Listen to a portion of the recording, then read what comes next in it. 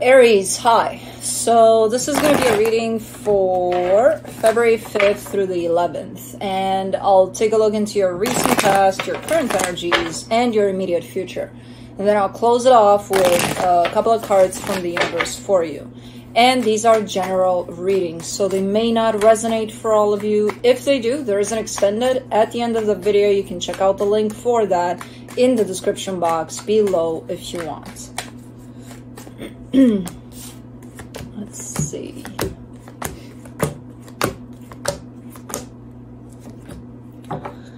All right, the overall energy for the reading, the Fool. I like when you guys show up. I feel like this is a collective kind of a energy because uh, everybody keeps on showing up in the same way in the opening. It's like I'm open, bring it on, and it is brought on it is brought on, but it's like I don't think you're open for this necessarily, but your energy definitely seems open. Um, and it's kind of a same kind of scenario that I see, you know, kind of going through a little bit of a bumpy road at the time, but at this time, but then I see everything opening up towards something better.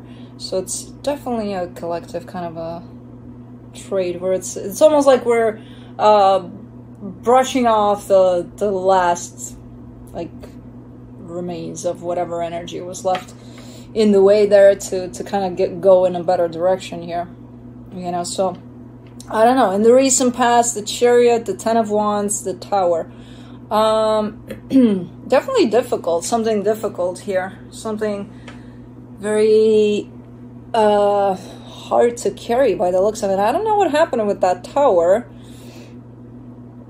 I feel like you're still kind of trying to sort something out out of something that happens, um, happened, which I can't tell exactly what it was. I just see that it feels difficult. I kind of also see that it was kind of meant to happen in this way so that you can learn something out of it. Um, so let's see where we're going with this one. In the current situation, the Five of Swords, the Devil, the Ace of Wands.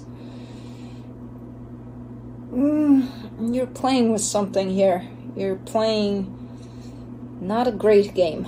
It's there's deceptiveness here. There's unhealthy energies at play, and you keep on giving uh, either from this energy or towards this energy. Whatever you're doing here, it almost feels like a like a game, but a game of, mm, I know it'll burn, but let me put my hand in the fire, kind of a game. You know, like that kind of a situation. Okay. In the immediate future, the High Priestess, the Sun, the Seven of Pentacles. Definitely better energies. Way better than the past, than, than the current. Uh, kind of starting to tune into your intuition, which feels way better than any of these games or whatever's shown up here. And uh, maybe even tied up to you building a sense of stability starts to look a whole lot better than where things are.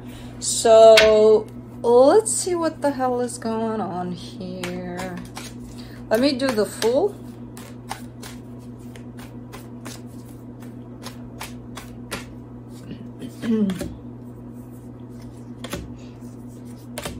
the Two of Swords, the Three of Pentacles, the Four of Swords. All right, so you're showing me a partnership here, and you're showing me that, energetically speaking, you're definitely fully open to it physically or mentally speaking, eh, there's a little bit of I don't know what to do about this partnership. You know, I feel like you're trying to sit with it and kind of not try to make any sudden moves right now around this partnership. At least it's it's kind of iffy. It's kind of like, uh, you know.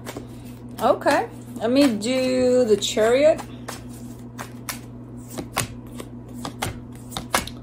The Queen of Pentacles, the Queen of Swords, the Ace of Cups. Alright, so everything looks good here in how you're approaching a situation.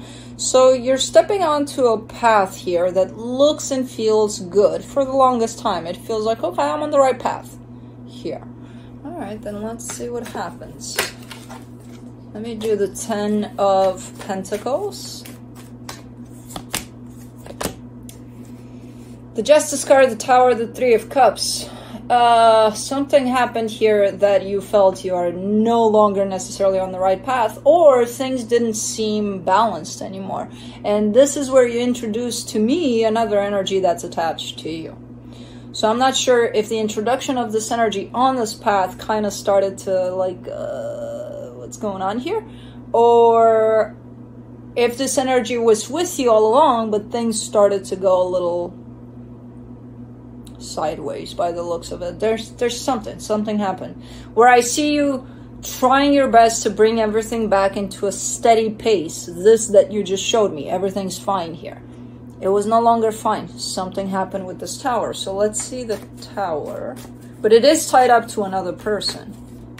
Whatever happened here, where you it feels like you lost your balance. the Ace of Pentacles, the Wheel of Fortune, the Six of Swords.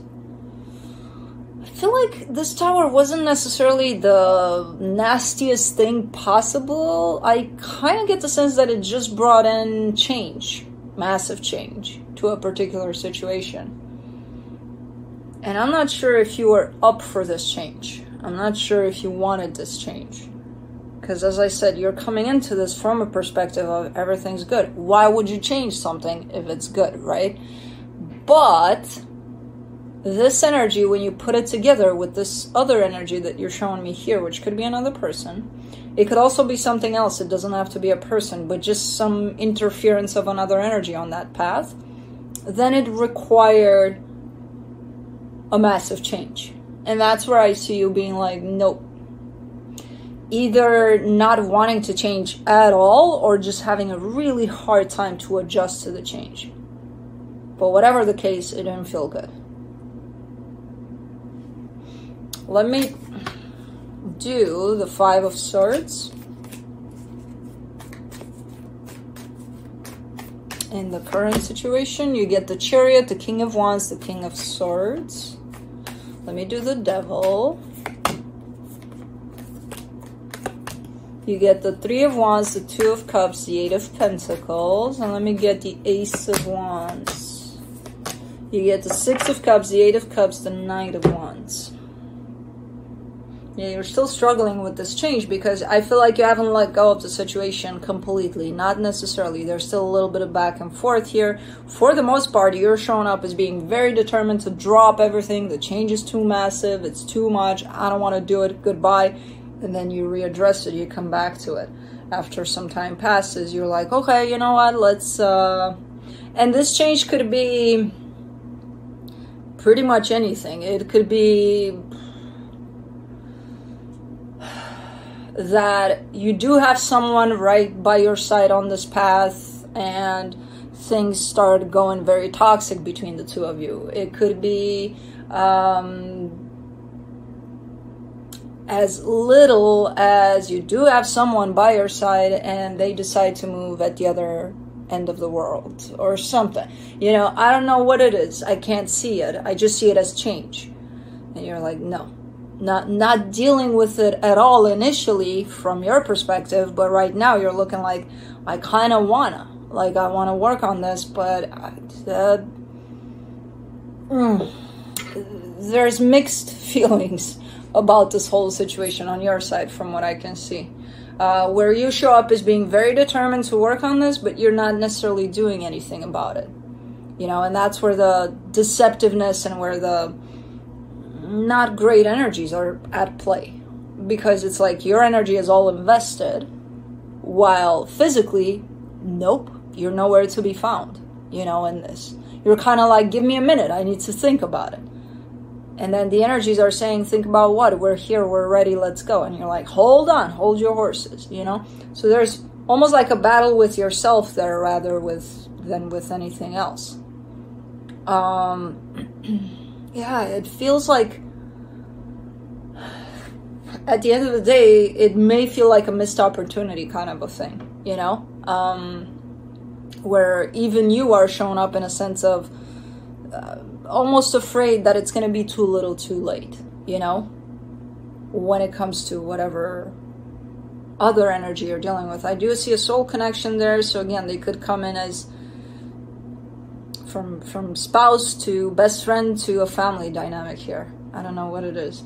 But as you struggle to deal with the situation for yourself to kind of gain a sense of clarity on what you'd really want to do about it, some time passes and then you're showing up in a little bit of fear of mm, what if it's too little too late like okay you know for both cases even for you it could be too little too late like what if through all of the struggle trying to figure out you find yourself mm, this doesn't carry as much significance for me anymore because so much time has passed that i disconnected from this completely so there's definitely a sense of too little too late here I still see you acting upon it, even though this energy is present.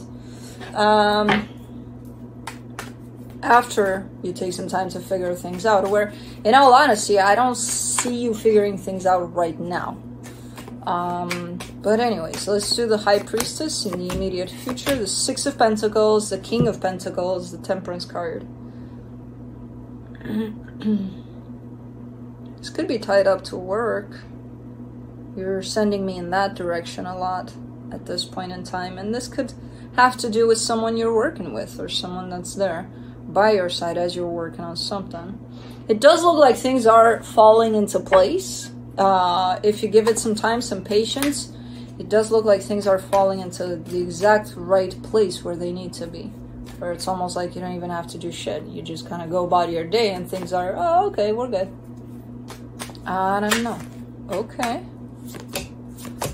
For the sun, you get the Five of Swords, the Lovers, the Five of Pentacles. Oh, man. Whatever this is, you're not done with it. You won't be done with it for a minute.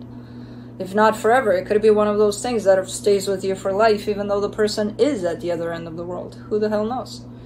Because there seems to be... You're showing me here an energy of chapter closed over this. And it's shown up as being a pretty deceptive kind of way of putting it. Especially because you're showing up as oh i'm so happy. This is done. It made me so happy okay then why is it showing up as a deceptive energy when you're saying oh i'm done i don't know i don't know and i'm not sure how this ties up into whatever you're doing for yourself here. Because in that energy of doing for yourself, you're showing up pretty straight up. Like, okay, everything's falling into place, everything's going to be fine. This one is kind of tangled up in there somehow. Uh, this situation with whoever this is. Anyways, let's do the Seven of Pentacles in the immediate future. The King of Cups, the High Priestess, the Page of Pentacles. Yeah, everything's going to be fine everything's going to be fine. Uh, when it comes to this energy that's directly tied up to you and what you're doing for yourself and for your own sense of stability. Whatever this connection is that seems to be hitting a little bit of a bump in the road or has been hitting a little bit of a bump in the road for a while and then you're coming in with a bigger bump in the road saying road saying oh this is closed off by the way which no it's not going to be closed off even when you believe that um because i I see the energies and you're no, it's not. It's not yet. Maybe it will at some point, but as you come in here and tell me this, no, not at this point in time. Maybe it just makes you feel better saying that. Um, but yeah, again, as far as you're concerned with whatever it is you got going on, especially tied up to possibly work, home life, whatever you got there, everything is um, looking pretty good in these energies of the immediate future. You know, as far as this bump in the road, still kind of struggling with it. It's not going to be closed off, even though you tell yourself that. Uh, not, not for a minute here. There's still some stuff that needs to be sorted out throughout all of this that has taken place, and when it comes to how you truly feel about it, you know what's left in there at the end of the day, at the end of the bump. Um, let's see what the universe has to close it off. The Five of Cups, the Two of Cups, the Empress. Yeah, this is a very alive kind of an energy. So no, it's not closed off. You keep on pointing it to me as if it's in the past. It's not affecting you anymore. It's fine. It's, you know, yeah, important, whatever. It comes with me. It's good. But like, it's in the past. Like, why talk about it? Why think about it? Because it left some pretty icky energies here that you didn't fix, you didn't take care of, you didn't heal.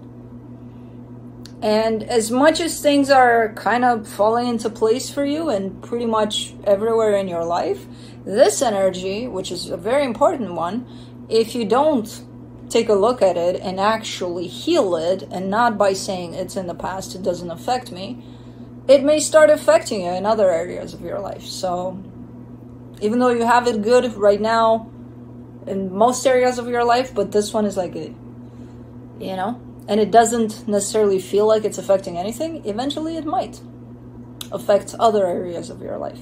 So I don't know. You're you're, you're just kind of trying to brush this under the rug, you know, where I'm seeing a whole lot of energy tied up to this one, and it's like it's not one of those that you. I mean, you can, of course, you can brush it under the rug, right, and pretend it's not there. But you and I both know that it's always going to be there, and it's going to come back with stronger forces to it. Like it's going to be bigger and worse if you don't attend to it. Um, so, anyways, that's uh, that's what I have for you. Hope this helped, and I'll see you next time. Bye.